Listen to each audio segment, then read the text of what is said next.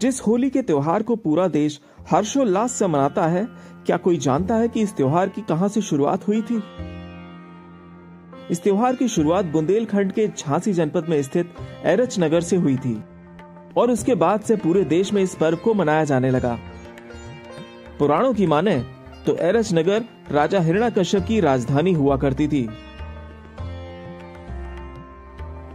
यहीं पर होलिका भक्त प्रहलाद को अपनी गोद में लेकर आग में बैठ गई थी, जिसमें होलिका जल गई थी, लेकिन प्रहलाद को कुछ भी नहीं हुआ था।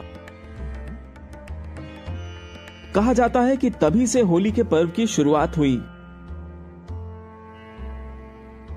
एरच में आज भी इस परंपरा को स्थानीय निवासी फाग और गानों के साथ हर्षोल्लास से नगर में शोभा यात्रा निकालकर मनाते हैं।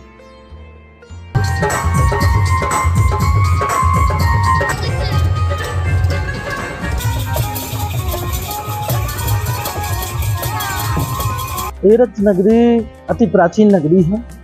विश्व की पहली राजधानी के नाम से इसको जाना जाता है और होली जैसे अनूठे त्योहार का उद्गम इसी एरथ नगरी से हुआ है। इस नगरी को भक्त प्रहलाद की जन्मस्थली के नाम से भी जाना जाता है। तो हिरण्य कश्यपु ने जब देखा कि उनका पुत्र प्रहलाद भगवान विष्णु की भक्ति में लीन रहता है, मैं छोटा सा चार पाँच वर्ष का बालक तो ये बात उन्हें बड़ी खराब लगी। और उन्होंने प्रहलाद को समझाने बुझाने का बड़ा प्रयास किया। लेकिन प्रहलाद जी के मन में भगवान विष्णु के प्रति ऐसा भक्ति का बीज अंकुरित था कि वो मिटने वाला नहीं था। तो हिरण्यकश्यप ने कई सारे प्रयास प्रहलाद जी को मारने के भी किए कि ऐसे पुत्र की मृत्यु हो जाए तो ठीक है। लेकिन भगवत कृपा से इन्होंने जितने भी यत्न किए, किसी में सफल नहीं हो पाए। विषाक्त भोजन कराए, काले नाग से डसाया यहाँ पास में स्थित ग्राम डिकोली है। उसमें जो डीकांचल पर्वत है, उस पर्वत की चोटी से नदी में फेंकवाया। लेकिन बेतबा माँ की गोद में प्रहलाद जी जैसे एक बच्चा माँ की गोद में रहता है, इस तरीके से बेतबा माँ ने सकुशल प्रहलाद जी को वापस कर दिया। उसके बाद हिरण्यकश्यप की एक बहन थी, होलका। तो होलका जी को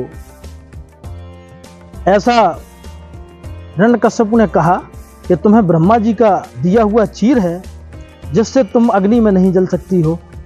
तो तुम प्रहलाद को गोद में लेकर के अग्नि में बैठ जाओ ताकि ये प्रहलाद जल जाए और इसका जीवन समाप्त हो जाए। होलका जी ने हिरण्यकश्यप की बात मान करके ऐसा ही किया। लेकिन एक भाव इसमें मिलता है कि होलका जी चूँकि प्रहलाद की बुआ थी और बुआ को भतीजा अपना बड़ा प्यारा होता है तो उन्होंने प्रहलाद जी को जैसे ही अग्नि जली तो अपना चीर निकाल करके प्रहलाद जी को उड़ा दिया और खुद जल गए। क्योंकि कथा ये है कि भगवान विष्णु की कृपा से जैसे इनके सारे षडयंत्र फैल हुए, ये भी फैल हुआ, लेकिन ये भाव है जो होलका जी को कहीं ना कहीं हम लोगों के सबके लिए पूजनीय बनाता है। तो जब प्रहलाद जी उस चिता से भी सकुशल वापस बाहर निकले और होलका जी जल गई तो बाहर जो उनके बंधु बांधव प्रहलाद के मित्र दुखी हो रहे थे जब उन्होंने प्रहलाद को सकुशल देखा तो एकदम खुशी से झूम उठे और वहाँ पर जो राख वगैरह उनकी पड़ी थी चिता की रंग, कलर जो भी था तो एक दूसरे को खुशी में उड़ा करके लगाया।